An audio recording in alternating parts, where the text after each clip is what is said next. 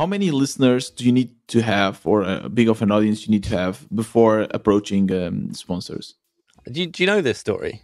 Do you know that I monetized from the second episode? No, I didn't know. Yeah. Okay. So uh, I, I I preach this a lot to people as well, and in my course. The course is ninety nine dollars. I say to people, if you can just charge twenty five dollars an episode for your first four episodes, your money's paid back for the course. Mhm. And I honestly think people can do that if you are committing to make a good regular show that you're committing to grow. And I think some some people don't want that. They're like they don't want the pressure of having sponsors and committing to it. That's fine. But I knew from the very start of Indie Bites that I wanted to earn some money from this. Right. And I wanted to get sponsors that would actually benefit listeners. So I'm picky about who sponsors the show. It must be a product or a service that I think is actually useful and actually interesting to people Mhm. or to my Yeah. listeners, to indie hackers. The other element of that is that I know that people often skip or zone out when they Yeah. hear podcast ads.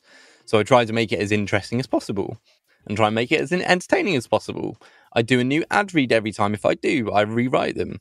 Uh, sometimes I bring on the founder of that product to like put into a mini ad slot. Oh, Samba from- Masters of Scale. Yeah, exactly. Masters of Reed Hoffman. Exactly. Yeah. Yeah, yeah. That, that, that's a really fun way to do it. So people is. uh, engage with the sponsor. But yeah, I, I knew I wanted to get money from the start. And so I just asked my friends. I said, I'm starting this podcast called Indie Bites. Uh, I wondered if you want to sponsor it. It's really cheap to start with. It's $25 to sponsor one episode. Right now, I'm getting 30, 40 downloads.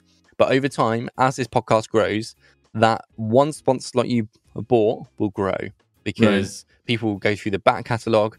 As I start getting 500, 1,000, 2,000, 10,000 listens an episode, people are going to go through. And you've got that sponsor slot for $25. Um, That's a very good sales pitch. so th- there's that, and then uh, I also say if you also jump in on these first few episodes, you're a value customer for life. Here's 25% off for all sponsor slots. And so Charlie from Ramen Club sponsored me for the very well. He was the first interview I did, so he was episode one, and he sponsored Mhm. from episode two. And when I was first starting out, he agreed to sponsor every episode that I didn't have a sponsor for. And he's actually my most recent biggest sponsor. He just bought 10 episodes at £225 an episode. So it's been really cool. Even though the podcast has grown 10 times, the price has grown Mhm. 10 times. Charlie's also grown with Ramen Club. So he's, Yeah. he's still supporting me. So I'm really grateful for that.